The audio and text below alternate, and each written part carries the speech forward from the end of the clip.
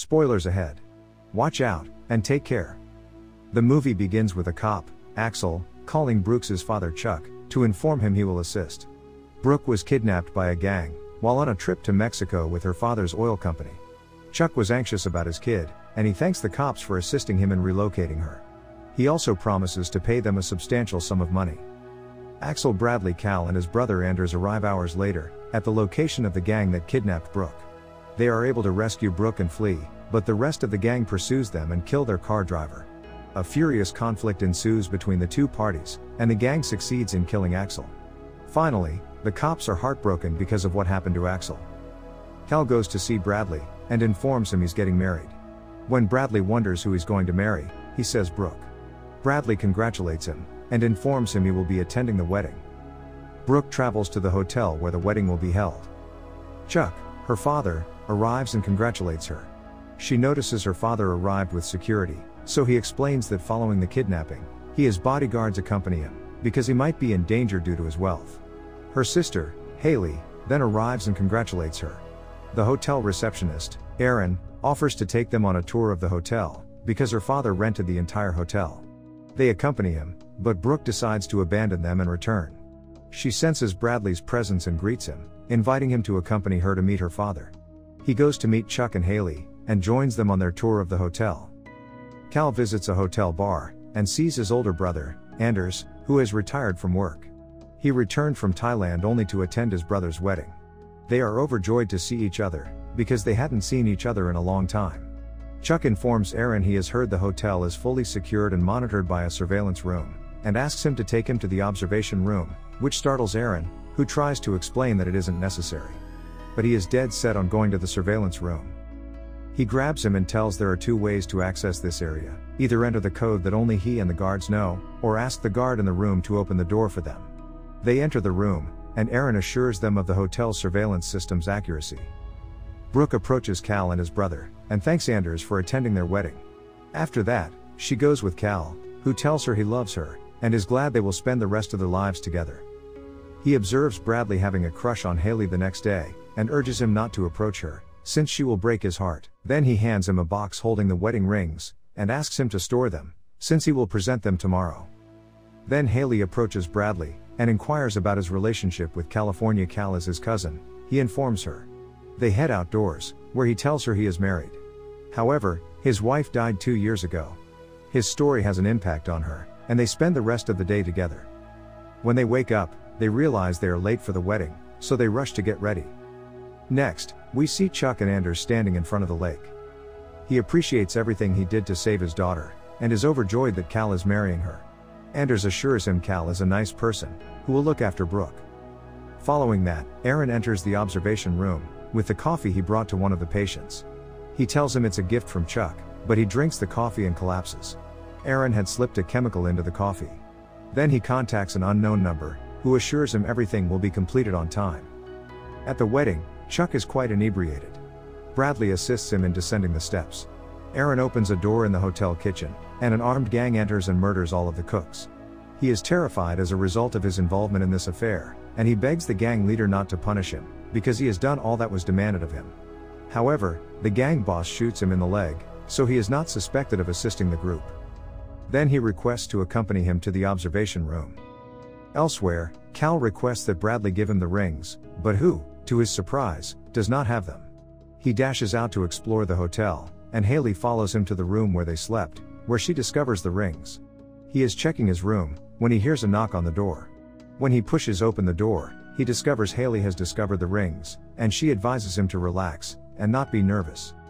When the gang boss enters the room, he kills one. Aaron becomes enraged, since one of them was not causing any trouble. The gang leader realizes if he turns off the power to the location, he will be unable to do what he wants, because the backup power generators will start in one minute. As a result, he decides to turn off the hotel's internet access. Anders is in the bathroom washing his face when the power goes out, because of the gang. The group arrives at the wedding location. Brooke is terrified as she watches them. The gang shoots everyone, and they and Chuck's men fight viciously. Chuck Cal and Brooke are able to flee, as Bradley and Haley are returning from the wedding. They hear a nearby explosion. He informs her this is the sound of a bomb, and that she should return to her room to hide. but she chooses to accompany him. The gang pursue the three of them into a pub. Cal tries to assist Chuck. Brooke is hiding, but a gang member tracks her down. But Cal steps in and kills them. Bradley and Haley are attempting to avoid any corridors where the gang may be present. While Cal leads Brooke out of the bar and attempts unsuccessfully to get a drunk Chuck out. One of the thugs finds them and knocks Cal out, but Anders comes just in time and shoots the man. However, he does not die as a result of the body armor he is wearing. When the gang boss notices Brooke fleeing through the halls, through security cameras, he takes action. He sets out to abduct her. She finds her way to the hotel kitchen and attempts to hide there. The mob leader, who is aware of her presence in the kitchen, comes. He tries to dupe her claiming to be a hotel security guard and saying she should leave. However, she is astute and does not reply to him. He keeps hunting for her, but she is hidden in the refrigerator. Haley is terrified and informs Bradley that she doesn't want to be kidnapped like her sister. He tries to reassure her, taking her to a room and asking her to hide while he goes to help the others. She requests he keep her close by because she is aware that the location is being monitored by cameras. So he assures her he will try to find a way out so she can walk outside and seek assistance. He takes out a golf club and implores her not to leave him. The man shot by Anders awakens, and the gang boss comes to see how he is. He informs Cal has escaped, but when they discover Chuck unconscious, they promptly grab him. The mobster then informs his boss that he is going to discover Chuck's relatives. To wake Chuck up, the gang boss strikes him with a pin. When Bradley and Haley arrive at the wedding destination, they are surprised to find it deserted and covered in blood. Haley is concerned for her sister and father. Chuck awakens enraged at the gang boss and demands what he expects from him. Because she is close by, Haley hears his voice. As a result, she goes to see him. However, the gang boss shoots at them. Bradley tries to persuade her to flee, but she insists on staying with her father, who convinces her they have no choice but to flee. Then we learn that Bradley and the gang's leader know each other. Someone enters the kitchen, looking for Brooke, but Anders appears with a knife and kills him. Bradley irritates Haley, because he knows the gang boss, and she questions him about it. The surprise is he informs this individual's name is Axel. They assumed he perished in the kidnapping of her sister. However, he is still alive, and is attempting to pursue them. Haley recalls her father having a satellite phone, that he left in his room, so they go into the room to look for the phone. A gang member appears on their way, but Bradley dispatches him with the golf club. Then he takes his gun, and walks inside the room with Haley.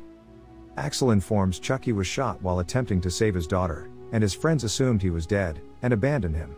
He says the gang had kidnapped and tortured him for two months, so that he would join them.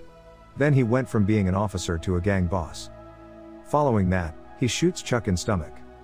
He didn't die though, and then Axel points the gun at Chuck's head, and threatens to kill him if he does not comply with his demands. Chuck informs he promised them 5 million in exchange for the return of his daughter. So he pledges to give him his cut of the proceeds. However, Axel demands more money, and threatens to murder his daughters.